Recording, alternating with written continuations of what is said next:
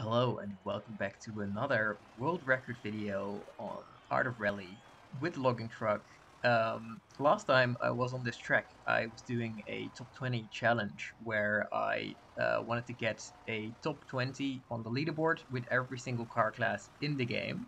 And when I used the logging truck for that I got the second place on the leaderboard. And now I saw this video um, by TemplarLad uh, where he uh, used the same track to set a world record with a logging truck. So, of course, I had to respond, and here is my response: a world record time uh, with the logging truck.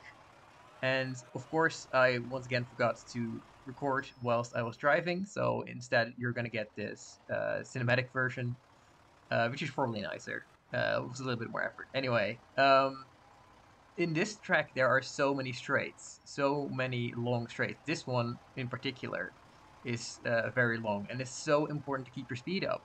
In that corner just before, you don't want to slip up at all, because if you lose speed before this, then yeah, you're you're just gonna lose many seconds from just a small mistake. And uh, also through these corners, this one especially is gonna slow you down.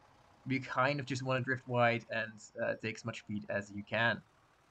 Um, this last section is going to be a little bit more uh, twisty, so that that's not uh, so bad when it comes to the taking speed. You just want to like cut the corners as much as you can, uh, which you can see here is quite a lot. You can cut corners quite a bit. You go downhill, which helps a lot in these uh, logging trucks because they don't accelerate very fast up the hill.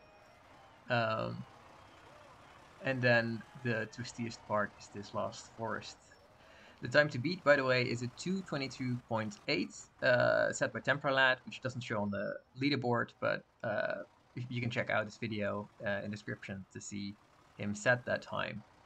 Um, so that's what we're aiming for, and uh, yeah, I mean, spoiler alert, that's what we're gonna get. Um, you can actually see that this truck likes to slide a bit, which is funny. If you get on the power in seconds, then it slides a little bit and doesn't lose speed, uh, lose speed by that. So you do that sometimes. Looks fun. And we set a 219.5.